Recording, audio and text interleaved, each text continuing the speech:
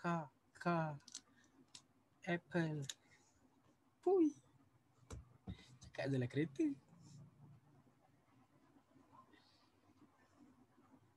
Mm-mm.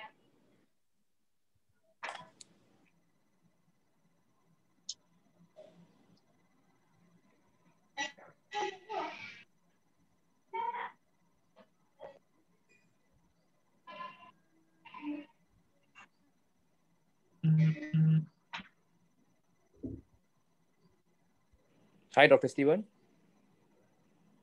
Hi, I'm here. I'm here. Can you hear me loud and clear?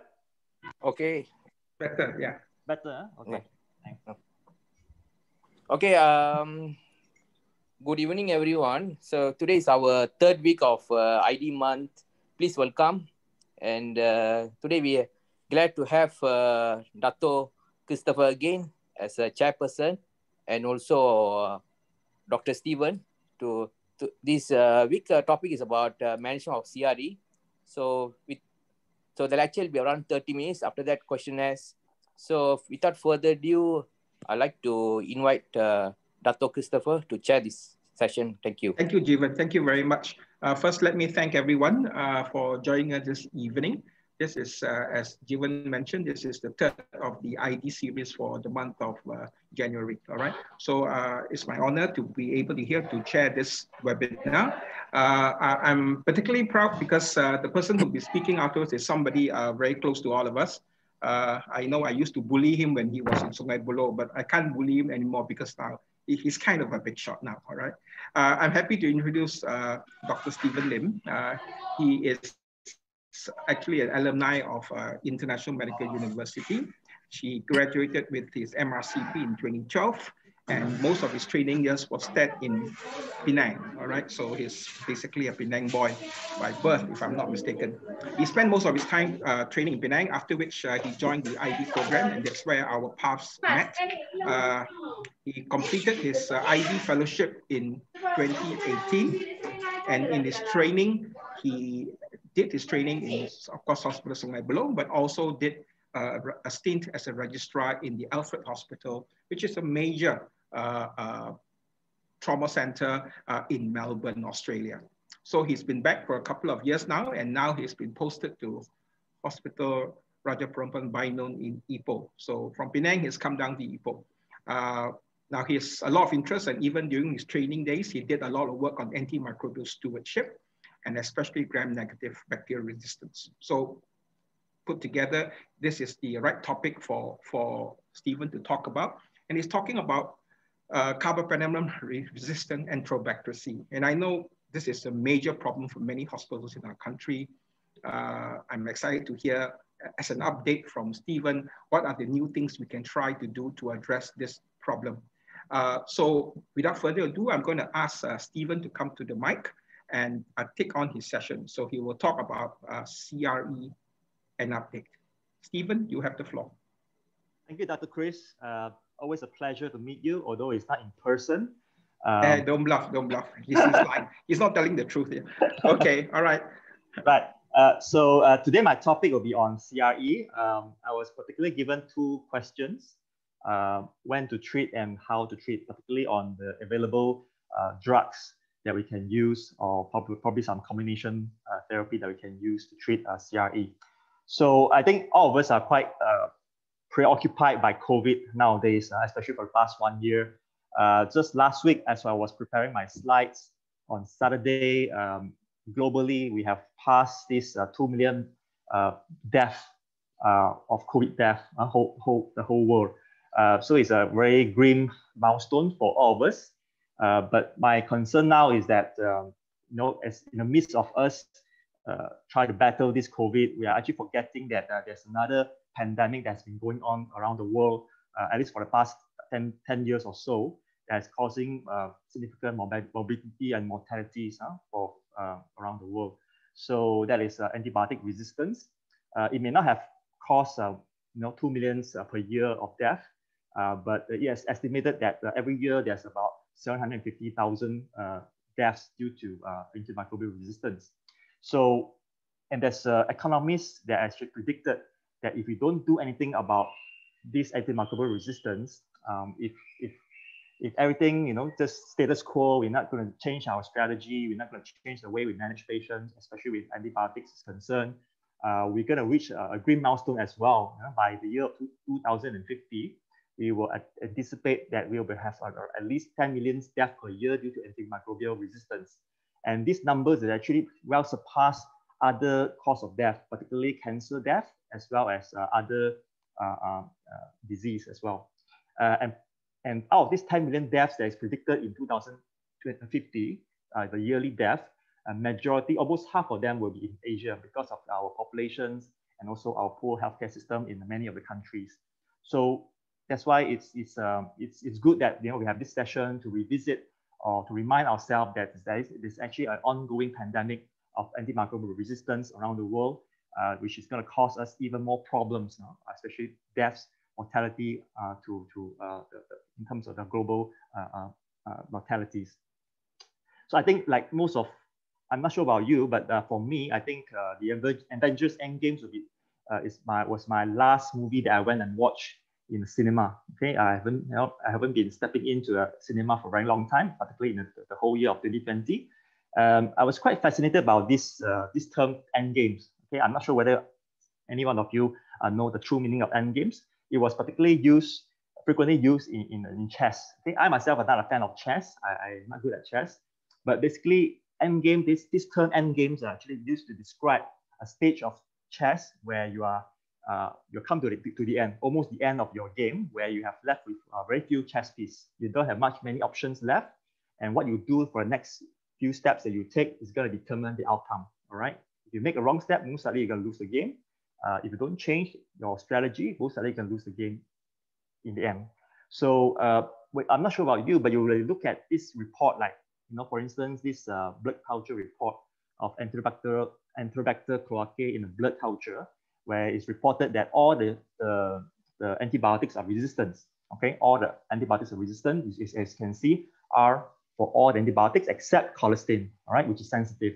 So it does feel like we are in the end game for this patient because especially when the patient is critically ill in the ICU, you know, when yeah, patient is still intubated, you know, struggling with uh, uh, infections, now suddenly you have a blood culture that grew CRE in this patient, and you know that the chance of this patient going to recover or, or survive from this sepsis uh, is going to be very, very uh, grim, you know, uh, because we all know that CRE mortality is at least 40 to 50%. Uh, if you look through the literature, most of the reports will tell you that uh, CRE mortality will be at least 50%. Okay, so if you have a patient with a bacteremia due to CRE, the, the chance of survival, the chance of him recovering, you know, is as good as like flipping a coin, you know. Um, and colistin, as we know, is a lousy antibiotics. Um, if you don't know the, the antibiotics, you may think that the colistin is a game changer drug. You may think that the colistin is what we call the savior drug. It's actually it's not because colistin is really a lousy drug because um, if it's not because of this antibiotic resistance, we probably won't use it anyway because colistin uh, is, is known to have a lot of toxicity, especially nephrotoxicity. So based on my own experience, you know, whenever we give colistin, we anticipate that at least half of the patient will develop uh, uh, some form of renal failures. So also because of this uh, dosing, especially, um, it's very difficult to achieve a therapeutic level. Probably you need a one or two days to achieve a proper therapeutic level with colistin to to uh, uh, to counter to, to, to treat this CRE or, or any of the resistant bacteria. So and I think until now, there's still a lot of controversy regarding the dosing, you know, and it keep on changing uh, in, in, the guidelines. So uh, overall, I think we are losing the battle against CRE. Okay, I guess that's why we're having this session again and again. Uh, this is just one example that I, I mentioned just now regarding um, CRE mortality. Uh, if you have uh, bacteremia with CRE, okay, your chance of survival, your chance of uh, death, mortality is about four, four times at least compared to those patients who have uh, sensitive uh, uh, gram-negative bacteria in the blood. So if you can remember, I mentioned about colistin. It's not a game-changer drug. It's a lousy drug. And now we know that there's uh, this what we call MCR1 genes among these uh, uh, gram-negative bacteria that can actually enables the, the bacteria to be resistant against a colistin. So basically, if you have a, a, a patient with the, the, bacteria which is resistant even with colistin, basically they're telling you that you have no no uh, treatment modalities or treatment available to, to treat these uh, CRE patients' infections. So let's let's go back to um, basics. Huh? What is Enterobacteriaceae?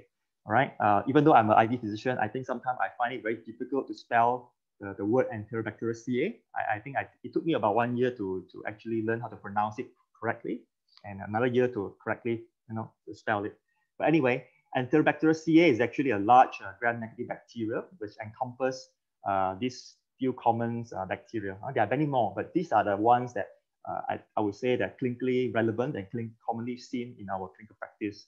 Uh, basically, enterobac entero means bowels or guts. So these are the bacteria that commonly found in our guts, all right, in our bowels, in our, our gastric uh, environment, um, and that, and uh, if you count by numbers, all right, you count by numbers, in our bowels alone, there are 40 trillions of bacteria, uh, all these gram-negative bacteria. Uh, and we call, usually they are live harmonious, harmoniously with us. They don't cause us much problem. In fact, they are important to us in the sense that uh, they help us to maintain this equilibrium if, of our bowel ecosystems. Um, and if you compare to our uh, numbers of uh, human cells, uh, particularly our red blood cells, uh, it's actually 30, only 30 trillions. So 40 trillions is much more than 30 trillions. So in, in a way, you know, we are more we have more bacteria in us than, uh, than human cells. Huh? So we always call the bacteria colonizer, but if you think, if you think deep about it, probably we are the colonizer, they are the, probably the host. Huh? So uh, I'm sure most of you will recognize uh, know Makcik Kiah. Um, our Prime Minister like to talk, talk, talk about Makcik Kiah, you know, especially during his uh, speech in uh, live na national TVs. So today I'm going to do the same. I'm going to talk about a story about Makcik Kiah. All right. So Makcik Kiah, just like uh, any ordinary Malaysians, uh, she had a, unfortunately she had a stroke. All right. She was admitted to hospital. Somehow she survived. Luckily, she survived the stroke, and now she's um, probably having some hemiparesis, you know, some weakness because of the stroke, and uh, require some uh, rehabilitation care.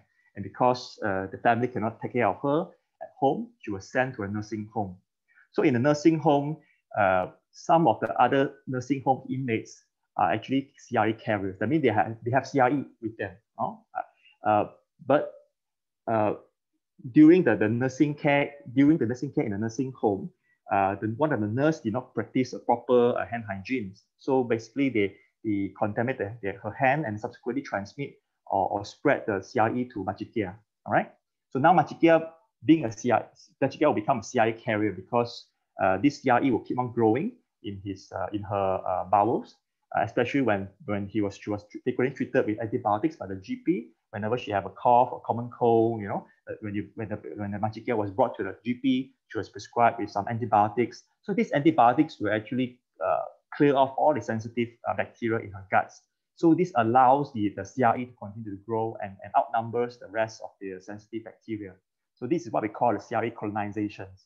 All right. So first you got you got uh, you become a CRE carrier when you are contaminated by uh, someone who didn't wash their hands, which somehow spread CRE to you. And uh, because of antibiotic pressure, this CRE will continue to grow and subsequently you become a full-blown uh, CRE carrier. So one day, uh, this Makcik Kiah became ill and subsequently was transferred to acute hospital for further treatment. And um, so the same cycle happens again because in the hospital, nobody uh, actually swab for her, do a, do a swab to look for CRE. Uh, nobody know that she is a CRE carrier. So the doctors and the, and the, and the healthcare workers in the hospital also did not practice uh, uh, contact precautions. They don't wash their hands. So they also, also spread the CRE to other uh, patients as well, especially in the same cubicle or the same ward, right? And finally, Makcik Kiah unfortunately succumbed to the severe sepsis and her blood culture grew Klebsiella pneumonia CRE, which is resistant to everything except colistin. Okay, so based on the story of Makcik Kiah, you realize that most of the time, uh, CRE is actually start, they always, always start with colonization. Okay, uh, they always start with colonization, and because of the antibiotic uh, pressure, they will start to grow in the patients. Uh, put in the voice is. So, so when they start growing, if you don't stop the antibiotics, eventually it becomes infections. Okay, so when you have a sterile, when you have a, a, a sterile sample culture that grew a CRE, most of the time it'll be just a colonizations. All right, uh, it's just it's just, just a signal that tells you that you know this patient is undergoing uh, antibiotic pressure, and then this patient actually uh, uh, uh have a CRE in her. So if you continue to, to, to give antibiotic, broad-spectrum antibiotics, eventually this CRE will actually outgrow the rest of the uh, sensitive bacteria and cause infections, especially when the patient is ill, immunocompromised, you know, uh, given steroids or, uh, or, or, given chemotherapy because of the uh, cancer, uh, underlying uh, so eventually it will turn infection. And then you have all the clinical signs and symptoms of sepsis in the patient. So this is the data from my own hospital provided by my infection control. So every year we are doing surveillance. Every month we are doing surveillance, looking at how many uh, CRE uh, case we have. Uh, these are these numbers are uh, represent representing the cases of CRE in our hospital. So we so you can see the total number of cases actually it came down from 2018. We went up a bit to 2019 and came up to 2020. I think this is because of the pandemic, the COVID pandemic, that actually caused the, the uh, because of the reduced admissions, uh, especially the general patients, especially less patients coming to the hospital, and then we are more because of the because of the COVID, we are more uh, uh, uh, contact precaution, cautious. You know, wash your hands more often. So that's why the, the, the cases coming down. And we even divide into our cases into infection and also colonizer. As you can see in this data, you find that only one third of the cases are actually infection that requires treatment for CRE. All right, all right. And another two thirds of the cases, they actually they are actually colonizer, basically because uh, you know, they did, the CRE, they found the CRE in the urine culture, but the patient is actually very well, or they did a routine anal swab. So in our hospital, we, our ICU, we have we, we practice what we call entry swab for CRE, anal swab. So every, every any patient that uh, got admitted to the ICU, they will be uh, they'll, they'll, they'll do an anal swab to look for CRE. So I think majority of our, our colonizers is actually coming from the routine uh, uh, uh pre and pre-admission swab in ICUs. Okay, so majority of these colonizer cases or CRE carriers does not require treatment at all. Okay, unless they eventually lead to infection, just like I, the scenario that I mentioned just now. So the question now is when to treat CRE. Uh, so the, the simple answer is don't treat CRE, particularly colonizer. All right. Um, so the so so the the answer is actually not a simple yes or no. All right. But I would say don't treat CRE, but treat the infection. Okay. So if the infection is caused by CRE, then you start appropriate treatment for CRE.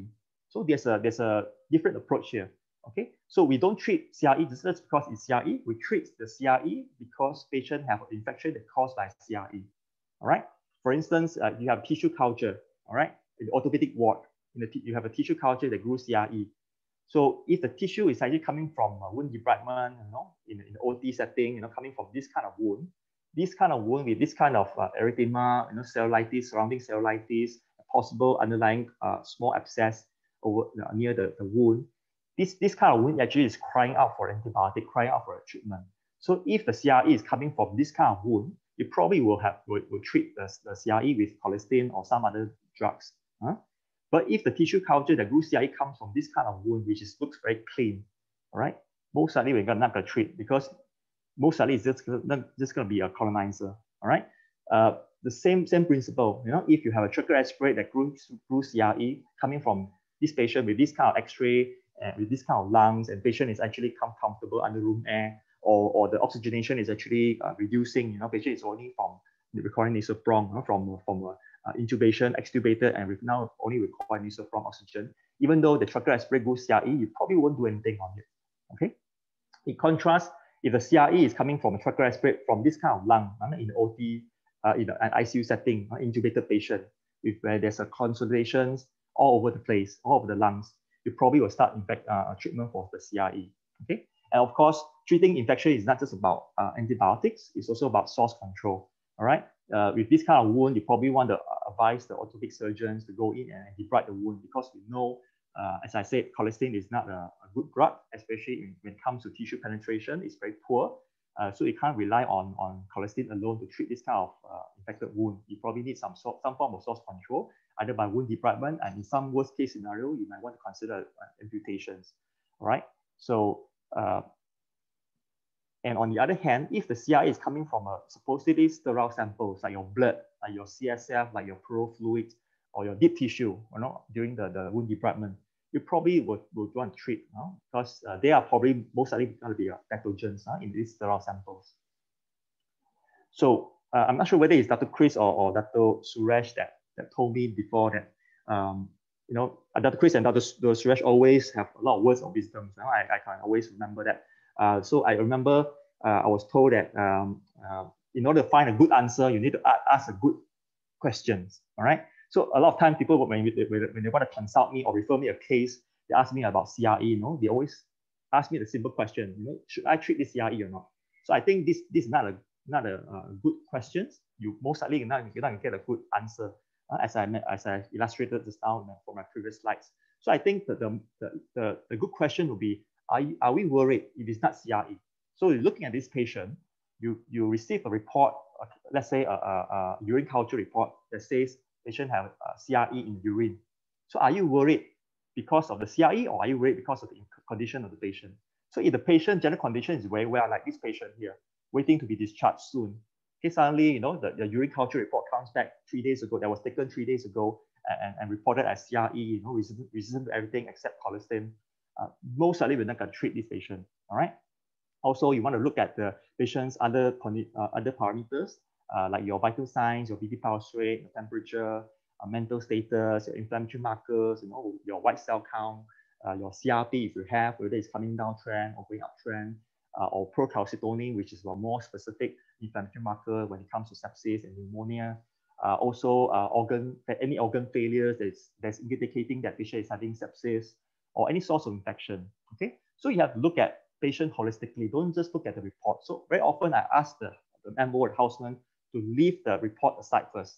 Let us assess the patient and determine whether the patient is having any, any form of infection or sepsis. If the patient is having any form of infection or sepsis, particularly when there's an obvious source, then we look at the report. You know? so, so if, the, the infection is due to the CRE, as I mentioned just now, then we start treatment.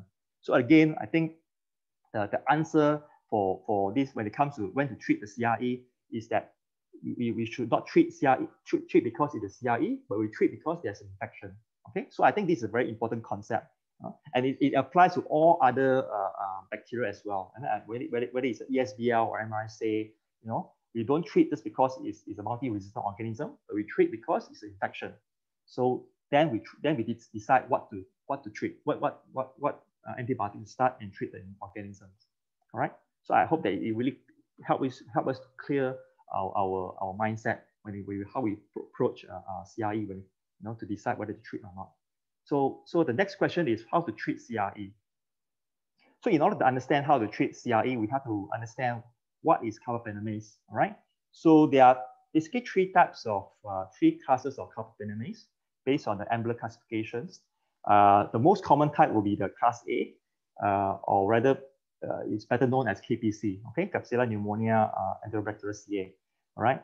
Uh, is found worldwide, especially in the US and also some of the European countries as well. As you can see, the, the class A at carbapenemase or KPC have ability or this, this enzyme can actually hydrolyze almost all the antibiotics, penicillin available, uh, all the beta-lactams available, your penicillins, your all your cephalosporins, even your aztreonams, your monobactams, as well as your carbapenems.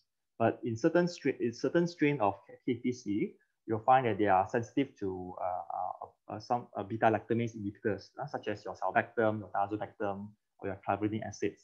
Okay, um, and then there's another class of carbapenemase, which is a class B, or better known as NDM1 or MBLs. Okay, this this class of uh, carbapenemase, again, they are, they are can hydrolyze all the beta-lactams except aztreonams.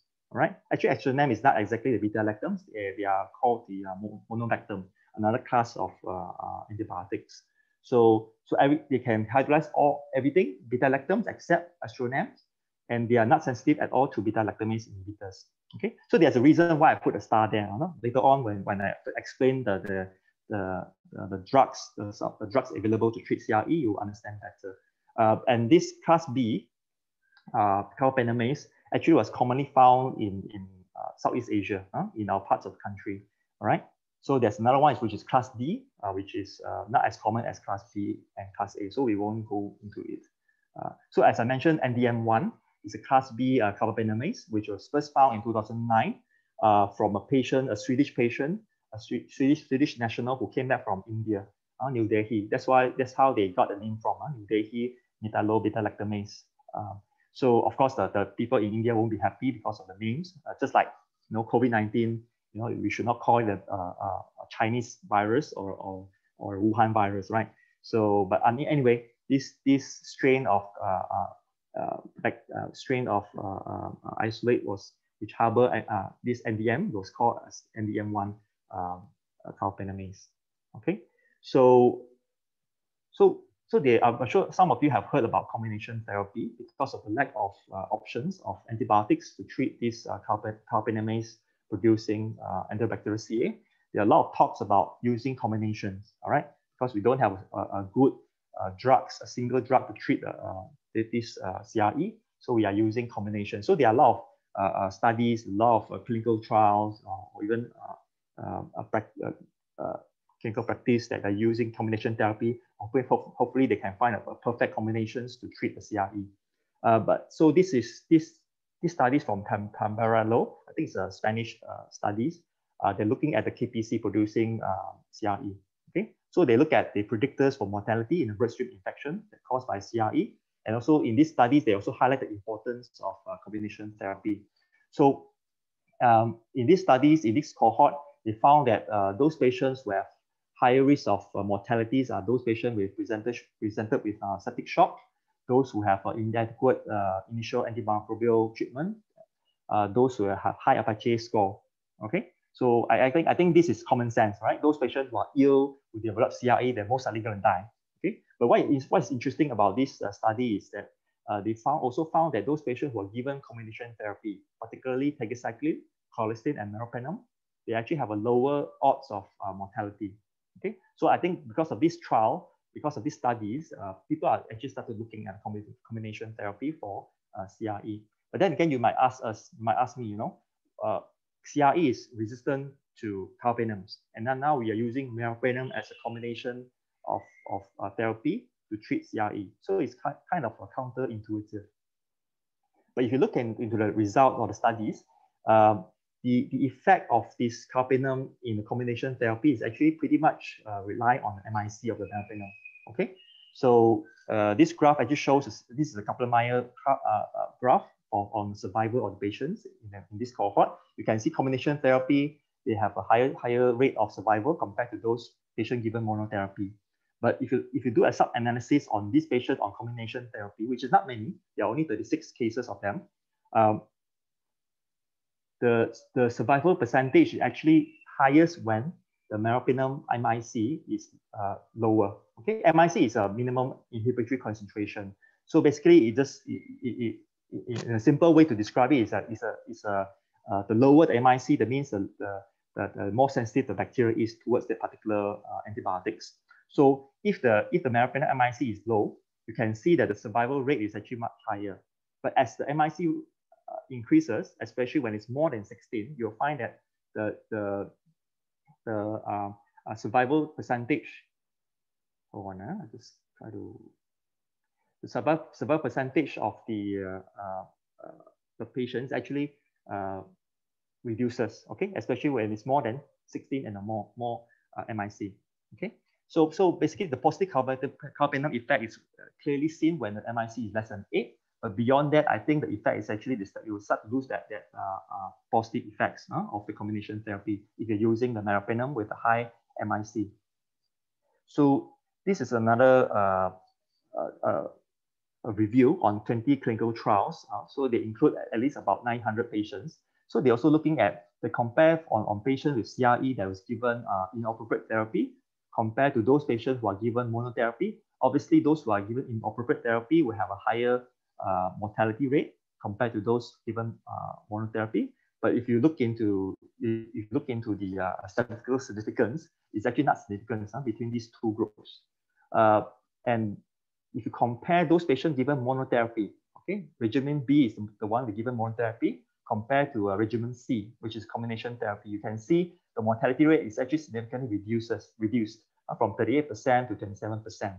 Okay, combination therapy means that they use at least two or more uh, drugs which is active in vitro. That means it's, it's, it's, from, it's based on the, the culture report, the culture, the sensitivity report that says that these patients uh, uh, isolates, uh, these isolates are actually MICs, low sensitive.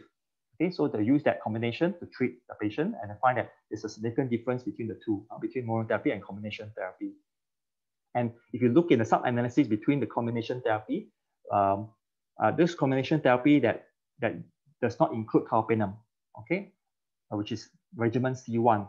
And those patients with combination therapy, which include uh, meropenem or carbapenems uh, in, in the regimen C2, you can you find that combination, combination therapy that include a carbapenem uh, actually have a much lower uh, uh, uh mortality outcome, right? From 30 compared to 18%. Okay, so so it, it, it means that when you talk about combination therapy in CRE, uh, the first principle is if you include carbapenem, it's better. Okay.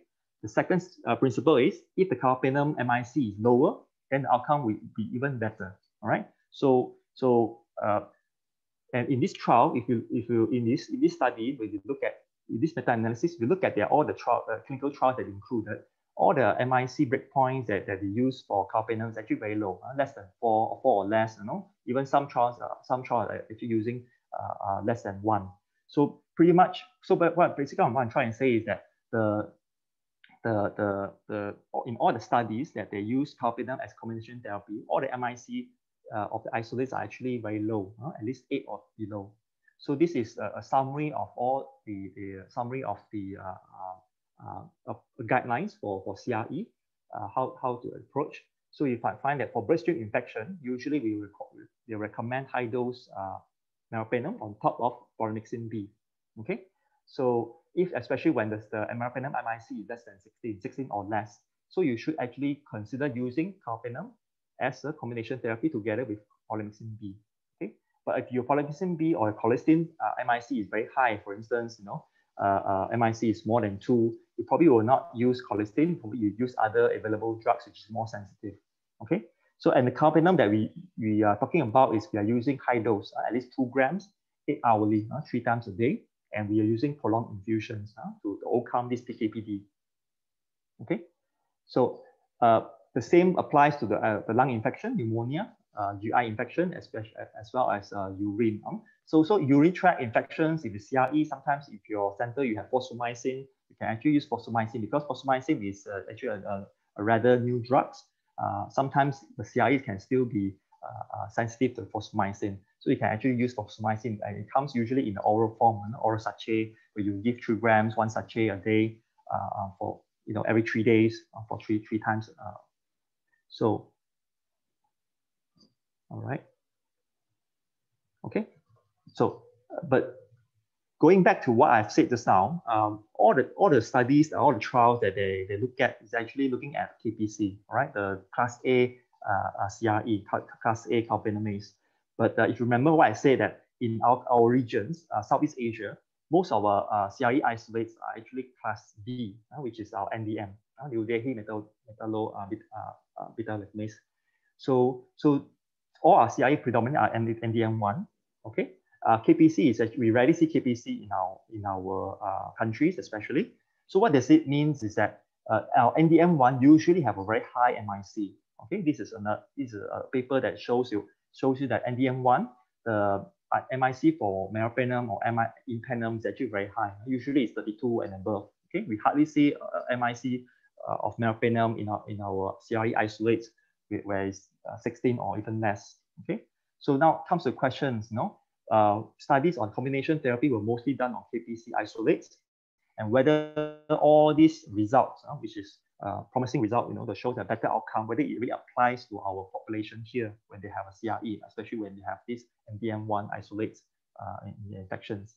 So combination therapy may not work uh, for NDM1 due to the high carbapenem MIC, and if you keep on using meropenem as a combination therapy, whether we will have, we will have caused more collateral damage, especially in terms of selecting out even more uh, um, uh, resistant organism, uh, even like even like the you, you know that you, you keep on giving meropenem, you probably will select uh, more candida, you know, for instance, uh, we probably predispose patient into uh, uh, invasive uh, fungal infections. So, so now the question is, is there any new drugs for CRE right at the moment? All right. So the question is yes, there are few new drugs available. Uh, and most of, most of the new drugs are actually mix and match. For instance, uh, there are uh, this drug called ceftazidime plus uh, which is a beta-lactamase inhibitors. and meropenem and, and vaborbactam. Okay, so these are the combination drug uh, it's combination of uh, uh, cephalosporin together with uh, beta lactamase inhibitors. Again, you look at the in vitro activities. Most of most of the, the reports will tell you that this drug are, uh, active against KPC. Okay, no mention about NDM at all. Okay, so there are three things that are certain in life: um, death, taxes, and also beta lactamase resistance.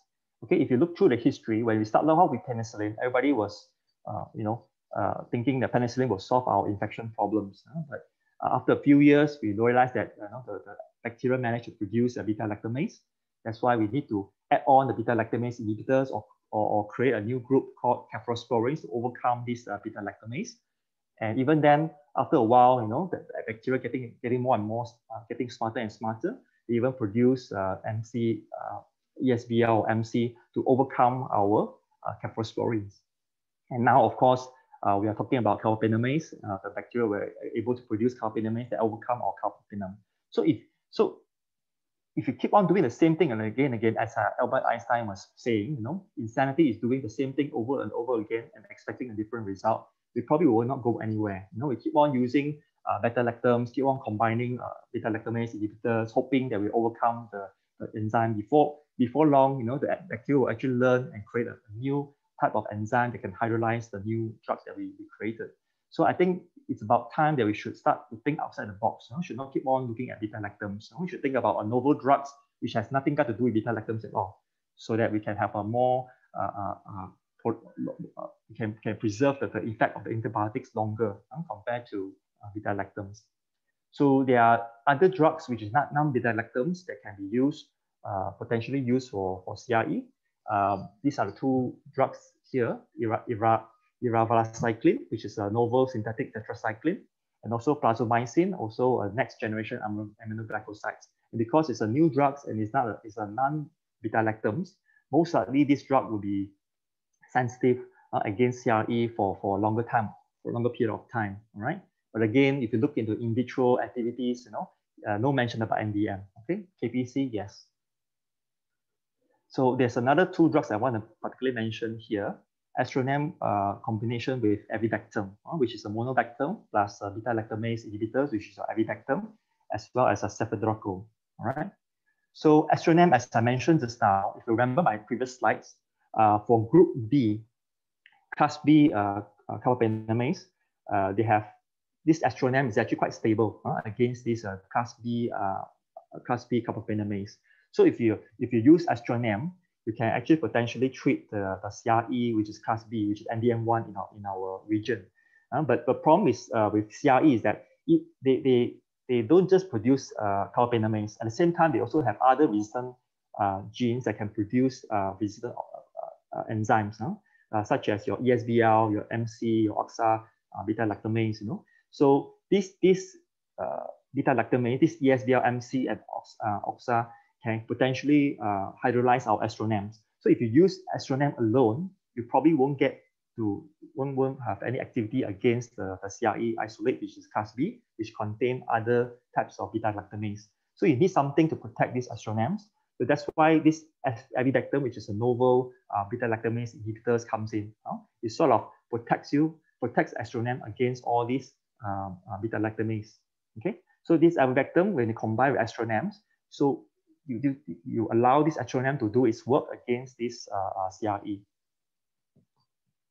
Another drug is cefiderocol, uh, which I think uh, it really shows that you know people are start thinking outside the box. You know? Uh, for a bacteria, for antibiotics to enter a bacteria, usually they will go through these uh, channels, right? These porin channels. Um, so when they go into one of this porin channel, there are, a few mechanisms that the bacteria can actually uh, uh, inactivate or hydrolyze these uh, antibiotics. One way is that they can have some uh, some uh, efflux pumps to pump out these antibiotics. Even though the antibiotics manage to go go through this this channel, there are beta lactamase waiting there to hydrolyze the antibiotics.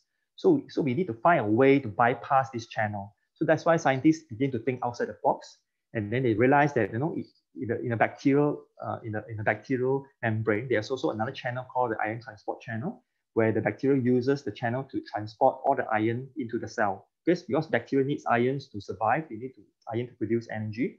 That's why they have this specific channel for the ions. For the for iron to, to be transported through the channel into the cells, they need this uh, siderophore uh, compound. Okay, so the so what the scientists did is that they used this siderophore compound to combine with uh, uh antibiotics, cephalosporin.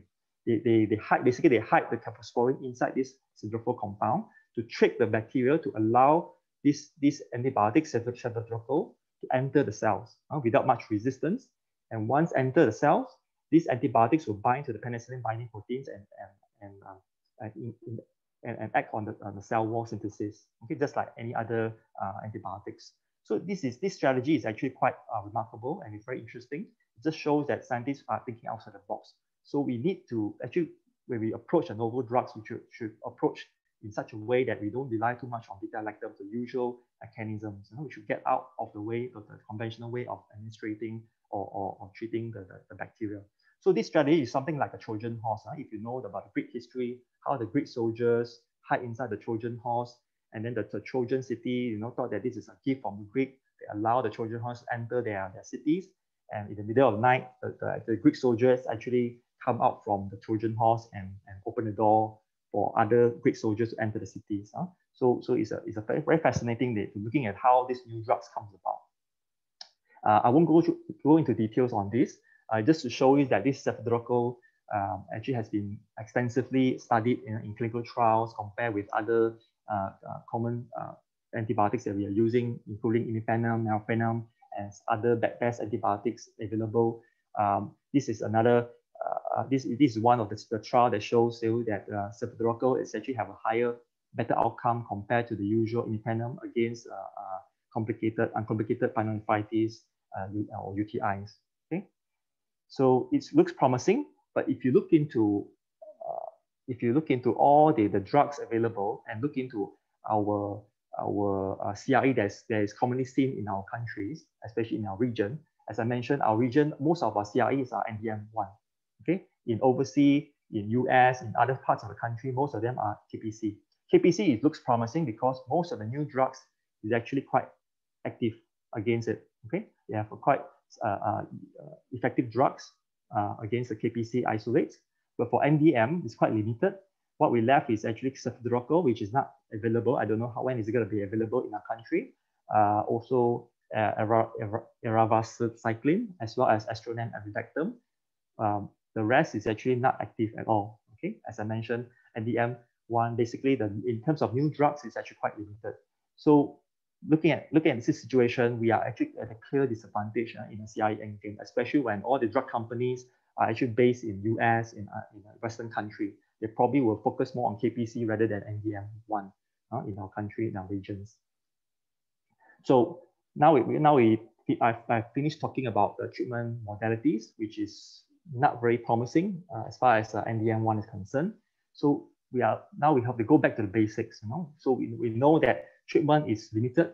So we should start thinking about how to reduce the, the CRE uh, infections, especially CRE infection in our own centers. Okay, majority of our, uh, our CRE cases, as I mentioned in my data just now, um, are colonized, colonized patients, or rather they are called carriers, CRE carriers. Only a one third of them is actually a CRE infected patients. So this patient, we, we can treat, we, we can try to treat uh, in our wards, but there are a lot more patients who are uh, carriers, you know, we, most of them are un unknown or undiagnosed, okay? So these are, these are the group of patients that we need to be worried about because they potentially will cause CRE outbreak in our center, uh, especially in an acute hospital, in a big hospital like our general hospital, in an acute ward, the patient comes in and out, we don't know who, who are CRE carriers. So I think we have to fall back into infection control in order to reduce the CRE rate in our center so that we don't have to rely too much on the treatment uh, for CRE, which is quite limited. All right. So go back to the basics, which is contact precaution, contact screening, as I mentioned just now, for, um, uh, the example of what my ICU, because we have a bad outbreak previously, you know, some years ago, that's why our ICU have practiced uh, pre-entry, pre-admission screening for all the patients entering ICUs, you know, or even sometimes you, your patient transfer from other hospital, you know that hospital have a high CRE rate, you probably want to screen them before you, you after they admit to your site. So that once you know these patients are CRE carrier, you probably want to apply contact precaution. You know, tell, uh, uh, make sure there's a good spacing, make sure all the healthcare workers wash their hands, uh, wear the CRE apron, wear the gloves, and make sure you don't transmit the, the CRE from one patient to another. And of course, number three is very important, antimicrobial stewardship. So uh, you have to start cutting down our antibiotic usage, especially the broad spectrum antibiotics, because the more we use, the more carbapenem we use, the more broad spectrum antibiotic you use, the CRE will definitely go up because of this uh, selection, selective pressure that encourage the colonization of CRE in the patient. So everything is futile if we don't wash our hands. So that's the basics, right? So the future is in our hands. So when you talk about CRE, we can never uh, live without talking about infection control. We cannot cannot live without talking about washing your hands, hand hygiene. Okay, and also antibiotic stewardship. Um, I don't want to talk too much about this because I don't have time, but I just want to leave you these two pictures. It does look silly when you try to hammer a, a egg, an egg huh, with a hammer, right? You try to break an egg with a hammer, it looks very silly, right? So this is how silly we look like you know, whenever you, you use a carbapenem, meropenem to treat a sensitive Klebsiella or sensitive uh, uh, E. coli. You know, uh, so so if you continue the carbapenem, even though the, the report has tell you that this E. coli isolate is sensitive to, for instance, ceftriaxone or Unasyn, you don't want to de-escalate. You, you believe in meropenem. This is how silly we look like. You know, you will do, you will do the job, but most likely you're going to cause a mess. So in in a, in a, in, in an antibiotic sense, you know, you, you and meropenem definitely will work against a sensitive E. coli, but eventually you lead to CRE in the patient later on. So always remember, we have to use the right tool for the right job. Okay. Uh, so I'm just going to leave you with this quote. Uh, if you don't get smart with antibiotics, the bacteria will. Uh, so this is especially true when it comes to uh, CRE. So choose your next move wisely. Okay, thank you.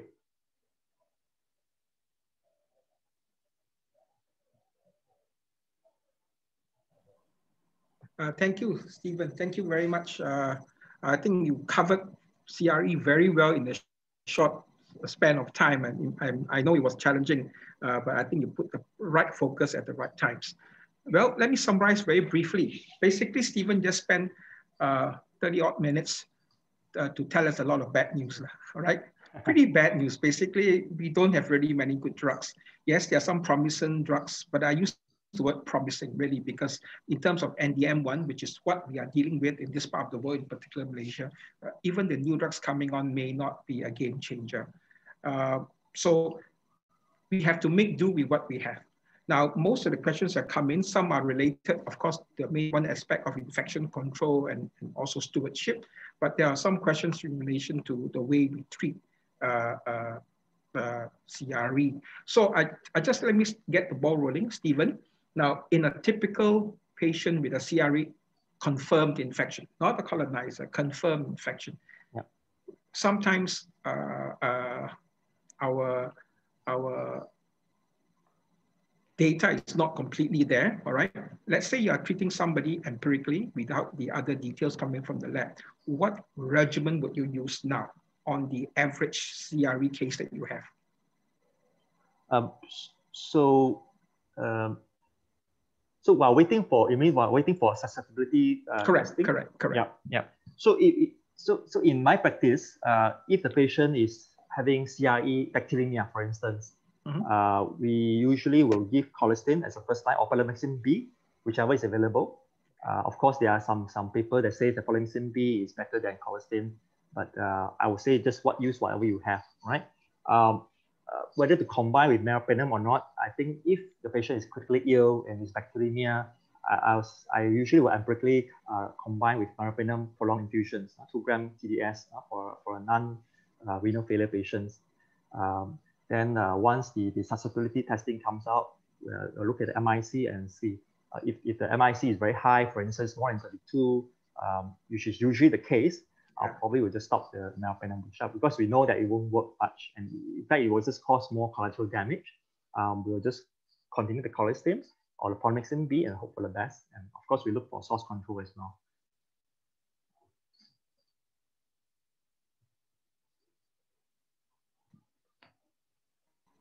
Mm -hmm. Yes, Dato'.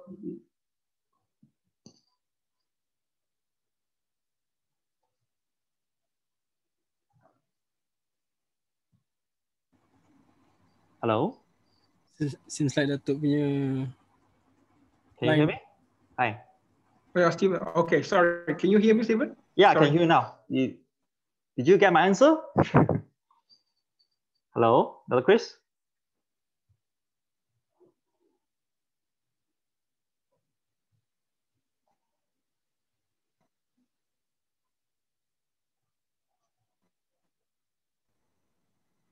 Oh, yeah. This, Hi. I heard your answer. Let me read through some of the questions. I'll try to answer as many as we can. All right. Sure, Is it okay? sure. Uh, Sure, now, this is from anonymous attendee. All right. Uh, okay. Uh, any inappropriate use of antibiotics will lead to CRE colonization. Are there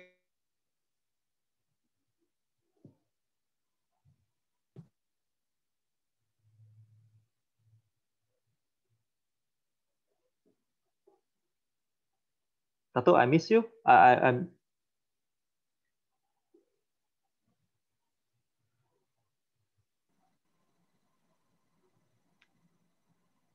Steven? Can you hear me? yeah, now I can. I can hear you now. Dr. Chris, I can hear you now. Steven? Yeah, I can hear you now. Yes. Okay. All right. Did you get the question? Uh, not not, Oh, not Steven, entirely. okay. Because of the connection, because the connection is bad. Can you see the questions in the submitted by the audience Uh, yes, under I Q can. and A or under chat? Or maybe save time. You just read from there. I apologize. Uh, right. uh, I can't read because I, it gets interrupted. Right, right. Carry on ah. with that. Sure. Um, Uh, under chat maybe or under Q and A both.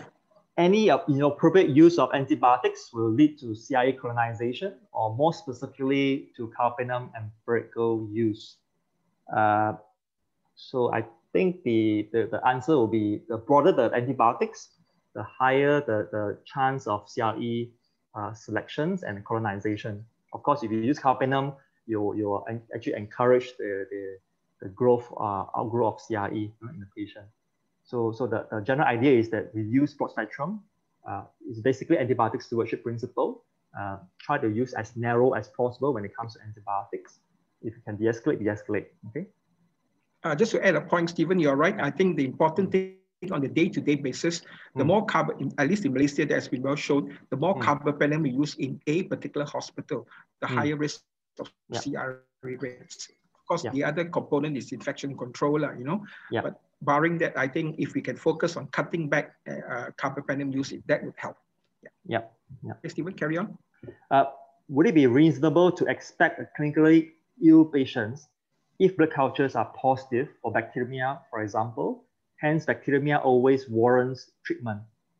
Uh, yes, as I, as I mentioned, if the CRE is in a sterile sample, supposedly sterile sample, uh, most of the time we will treat, right? If it's bacteremia, yeah. Okay. Uh, Steven, I, I, I feel bad. I read for you when I can read, okay? Uh, That's all right. So, Dr. Steven, can you share with us how uh, how to treat CRE in your center? I think you mentioned that already with the Yeah. limited new drugs available in Malaysia. I think you may have answered that, isn't it? Yeah, yeah. Yeah. Okay. Shall Uh, we move on to the next question then? Right. Sure, sure. Uh, maybe maybe I just add on to that. Uh, just now I mentioned about colistin and combination with meropenem if the MIC is low.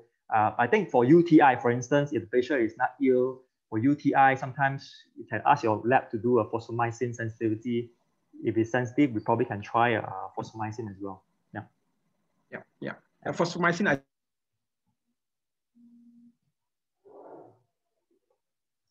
I believe it's not Dato, you're breaking up. Dato, you're breaking up. Can't, can't really hear you.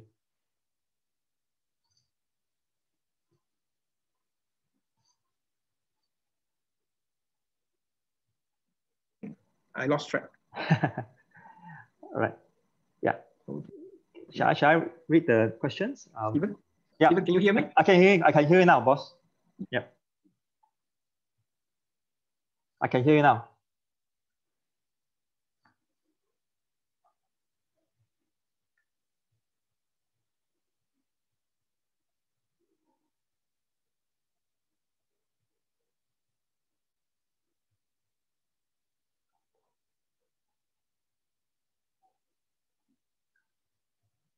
So maybe I shall. High risk uh, populations. Uh, yeah, Dato, um, I, Can you see the question? yeah, which question you're looking at? Uh, Under Dato'? chat and from from Verna. Under chat. Yeah, which which question is that? Uh, second question from Werner. Werner. The second question under chat, Under not under chat. Q&A. Oh, right. Verna. Uh, I apologize to all the audience uh, because my I think my connection is not good. So uh, Yeah. So in a newly diagnosed CRE patient, should we send a rectal swab to confirm carriage? Um, yeah, so, so basically what it means is that uh, if the patient is diagnosed of CRE infections in, in the blood, for instance, do we do a, a anal swab? Um, so I think in, my center, we, we do we do a swab, anal swab, just to, to, to prove that, uh, not just to see that no patient is actually a CRE carrier or not. But most most most time, when whenever patient grows CRE, any of the sample, we usually will tag patient as a CRE carrier. Uh, so whether you can you want to do, do a, a you know swab or not depends on your your lab on your, your center, right? So I think I think the basic principle is that once a patient has CRE, you should supposed to tag them as a CRE. Uh, you have you have you should have a systems where you can you know that when patients get readmitted again, you know you know that this patient have a CRE before and he is a CRE carrier, and so, so, you should initiate uh, institute this uh, contact precaution right from beginning. You know, put him in the right uh, uh, appropriate cubicles, the appropriate uh, contact precaution measures, and every healthcare workers that approach the patients should be on uh, contact precautions, you know, hand hygiene, gloves, and also CRE aprons and, and so on and so forth. Yeah. Okay, Steven. Yeah. Uh, can you carry on? Just Yeah. uh, let's try another five minutes. Let's see how many questions you can answer. Yeah. Uh, just, I apologize. Just read your questions from there if you don't mind. You pick. All right. Um, okay, I'll just read on questions. Right. So, call from QE. We are still practicing entry and exit swaps in my hospital due to recent outbreak and quite a few asymptomatic CRE colonizers and or carriers identified during the process, and it's, it is still ongoing. So we have been practicing isolation and hygiene, but really, what is the end game for this patient? um, that's a good question. Uh, so of course, it's like casting a net. Um, of course, we want to cast a wide net. Uh, if the, the, the wider the net, we will probably catch a lot of uh, CRE carriers uh, among the patients that's admitting to our centers. But uh, you also come, you, also you also have to ask question whether your lab can cope or not with the with the uh, samples that you are sending. You know, uh, if you're talking about all the entry cases to a general ward, for instance, you know, one day you probably need to send probably up to hundreds of, of you know swabs, you know, for your for your lab to to to to process. So I think we should be focused as well. So so I think in the outbreak setting where you have a spike of CRE cases um, uh, in your in your center, I think it's it's good you do an entry uh, screening, whether it's in a ward or it is an ICU in a particular ward where it's a high incidence of CRE, then you can do entry screening, especially when you have a, a movement between a patient, movement of patient between wards or between hospitals.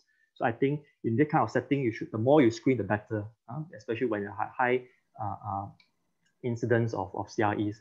Um, but if your CRE rate is actually low, I think uh, probably you don't have to cast such a wide net. You probably just go by just go by uh, the patient history. You know, is patient coming from an institutionalized center, from a old folks home, or from other hospital, which is a high high rate of CRE, then these are patients that you probably want to focus and screen instead of screening everyone that comes in your doorsteps.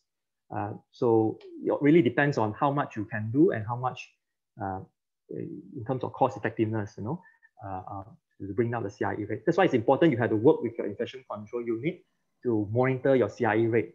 Uh, just like our my, my data that I showed you just now. Look at on a, on a weekly basis or monthly basis, see how's your CRE rate. If your CRE rate is going up, your infection control unit is supposed to alert you. Uh, for instance, you know, suddenly uh, uh, they're, they're telling you that, you know, uh, in your ICU for during the last month, there's a spike of CRE cases. So in that kind of setting, you probably want to do more screening, especially entry screening, even exit screening. Before you transport the patient, you probably want to screen before the patient goes to the general ward.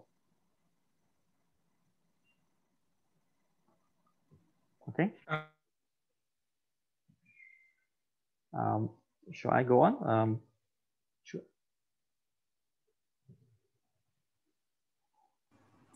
Uh, yes, um, you can still go on. Yeah. Can I inquire as to CRE carriers, how should we proceed with their management and precaution for future admissions and care? Right. So if the patient is in the ward, if you know that this patient is CRE carrier, as I mentioned, it's good contact precaution. I think all all infection control unit are supposed to know how to do it. Um, and for future admissions, I think you have to create a system. If your if your hospital is uh, computerized, uh, you can actually uh, ask your IT you know, to help you to, to, to tag the patient in the patient's uh, profile or patient's clinical notes. So whenever you're, look into the patient's notes in your computer, you, you, you're supposed to have a highlight that the patient is a CRE carrier, just like allergic allergy history, you know. So, so if you know that this patient is a, is a CRE carrier, then you know what to do when the patient is admitted to, the, to your hospitals. Okay, so that's all in the chat section. Should I go to the Q&A section? Um, how long we need to isolate or cohort a patient with CRE colonizer when admitted to hospital? So basically, I think the, answer, the question was asking about how long should we tag a CRE patient, a CRE carrier? Um, actually, there's no perfect answer on this because different center will have different guidelines. But I think generally people will tag at least one year. But we know that uh, uh, CRE carrier can actually con continue to be CRE carrier up even more than one year. Huh? Um, but I think generally the principle is one year. After one year, uh, once the patient comes in, it will be good if you can repeat the swab. Uh, repeat the annual swab. If it's already negative, at least two or three sample negative, then you probably can off-tag the patient after one year. Uh, I think Australian are practicing one, one year tagging for CRE cases. They will, they will swab patient after one year. If it's admitted, at least two or three samples uh, in a few weeks apart. If it's negative, they'll off-tag the patients. Okay, uh, right. So. Hi, Dr. Steven. I think uh, we're four plus 10 yeah, now. Yeah. I think we uh, can end our session. Is it okay? Sure, sure. If it's, it's okay with Dato, yeah. Dato is the boss. Dato, I think, I'm not sure, Dato. Dato, I think he left and not sure. Yeah. That, that's fine with me. That problem. That's yeah. fine with me. That's fine with me. Okay. I think, yeah. uh, thanks, uh, Dato, Chris, and Dr. Steven for a fruitful uh, session for today. And uh, there'll be a QR code for scanning in front of your screen. And uh, next week will be the last week of ID month. We will be um, what we call the interesting topic and important is management of COVID-19. So see you guys next week. Another thing is next week is uh, on Wednesday, not Thursday, just for next week, Wednesday, 3 to 4 p.m. Thanks. Okay. Thank you, Jivan. Thank you. Yep. Yep. Bye.